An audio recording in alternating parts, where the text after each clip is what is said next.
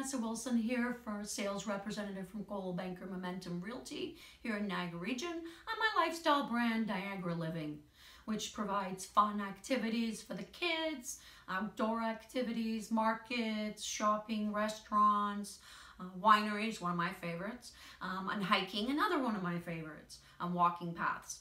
Um, I want to share with you today and speak to you today about real estate in general in the Niagara region and what's going on. Um, our communities, which make up our Niagara region, such as St. Catharines, Niagara Falls, Port Colborne, Welland, Grimsby, Lincoln, Fort Erie, just to mention a few. So they're composed of cities, um, hamlets, towns, villages, um, really cool areas to live. We're situated between two lakes, Lake Ontario and Lake Erie, um, with a beautiful Niagara escarpment um, that is, sits in between, which offers you a lot of land or the possibility of purchasing land, of course, if you're purchasing a resale home. Um, the challenges that our community has is that we have a lot of out-of-towners purchasing, which is bumping up the price a form of gentrification um, that's going on for locals, which is unfortunate, but that is the market that we see today. So we're still considered a fairly hot market in Niagara.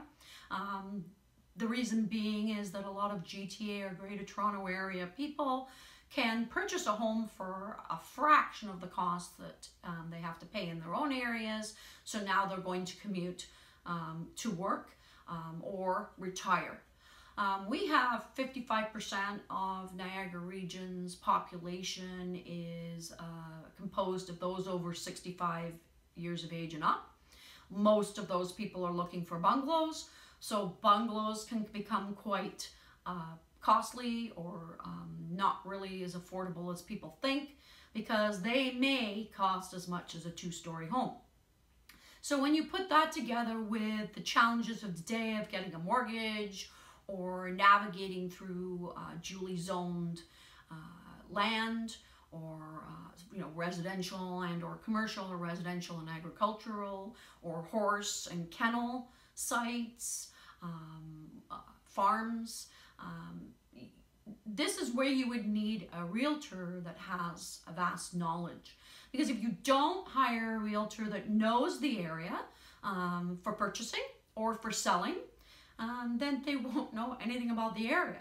So how can they really sell your home properly or how can they give you the information you need to proceed to purchase in Niagara region? And that would be the question of the day.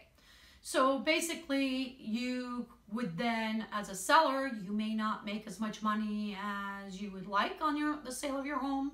On the buying end, you may end up paying more for the home than you should um, or not know what's going on around the area. Um, on top of that, you have the zoning, um, you have areas that require more skill set from a realtor, and that realtor should be from your the local area you're purchasing or selling in.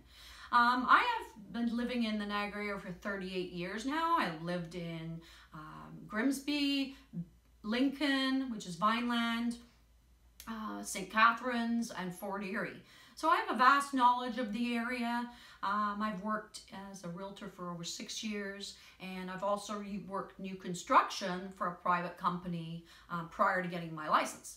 So I have knowledge of new construction, resale homes. I have my ASA accreditation, which is a seniors accreditation.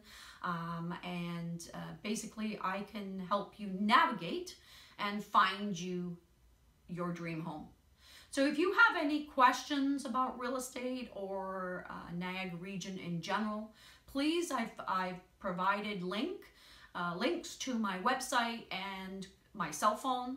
You can text me, you can personal message me, you can email me, whatever your needs are, I am here for you.